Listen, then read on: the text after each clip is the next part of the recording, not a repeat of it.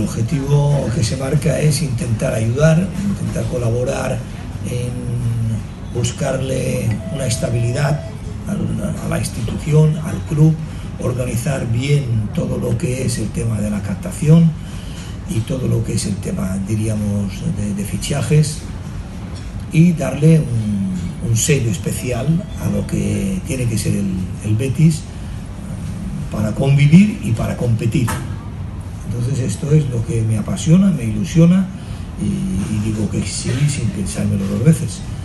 Y aquí estamos, ¿no? Intentando buscar un entrenador que tenga un perfil eh, bueno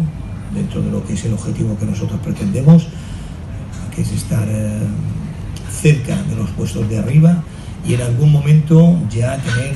un, bloque, un equipo contacto para asaltar, si es posible, algún objetivo ya, diríamos, eh, fuerte, llámese competición europea, que hace tiempo que el beticismo yo creo que se merece y en esto estamos trabajando, pero con la humildad y la prudencia que esto supone, porque no es fácil, porque hay también muchos equipos muy bien preparados y muy bien dotados económicamente para estar aún un poquito más adelante.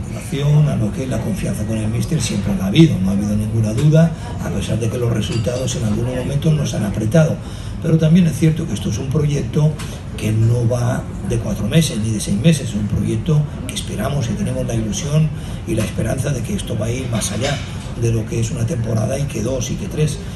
Ojalá tengamos esta fortaleza para poder eh, seguir juntos eh, con el trabajo y también con las ideas muy claras y el criterio muy claro. Bien, entonces el Mister está totalmente respaldado, apoyado y ayudado por todos y cada uno que componemos eh, la dirección deportiva y la comisión deportiva también. Entonces, a partir de aquí, lo que pretendemos es eh, estar en contacto prácticamente a diario con él. Es una pena que hayamos tenido estas dos bajas tan, tan significativas en, en ataque como son Joe Campbell y Tony Sanabria nos han mermado mucho el potencial, son lesiones largas que hemos tenido que aguantar. Y después, eh, es verdad que nos gustaría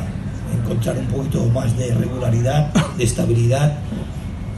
pero esto sabemos que es a través del tiempo, del trabajo y de la paciencia que tienes que tener. Y nosotros estamos dispuestos a entregarla al míster continuamente y si vemos que su trabajo también es esto, es positivo, es efectivo, que todo el beticismo sabe el nivel de talento que tiene, que tiene este jugador.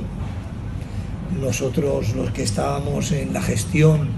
y en la dirección deportiva nos hubiera gustado que esta temporada hubiera continuado en el Betis. Sabemos que su talento y su y todo lo que aportaba era un futbolista que tenía unos vuelos muy altos, lo entendíamos, lo consideramos, también nos hubiera gustado que con un año más en el Betis seguro que sale con unos galones mucho más reforzados para entrar en unos vestuarios de esta envergadura. Pues el, chico decidió que quería ir en el Madrid, pues nosotros lo entendimos, lo aceptamos, faltaría más. Y ahora ha habido esta, esta posibilidad de que el míster hablara con el jugador, pero es verdad pues. que bueno, pues eh, Fabián coincidimos en esto en relación a que es un jugador que ha crecido mucho como persona en un punto de madurez muy bueno y también como futbolista también ha aprendido a, lo que significa el espacio donde él está ubicado, la manera de jugar, la practicidad y la eficacia en cualquier toma de decisiones y ahora mismo ya está en un punto de valentía y de autoconfianza muy alto porque se atreve a llegar y pisar eh, el área y desde allí tiene la fe y la confianza que a través del tiro a la media distancia puede meter goles. ¿no? Pues sí, estamos contentos con él, nos gustaría, él sabemos que también y nos gustaría que estuviera muchos años. Así que le queda algún tiempo para estar con nosotros Estamos intentando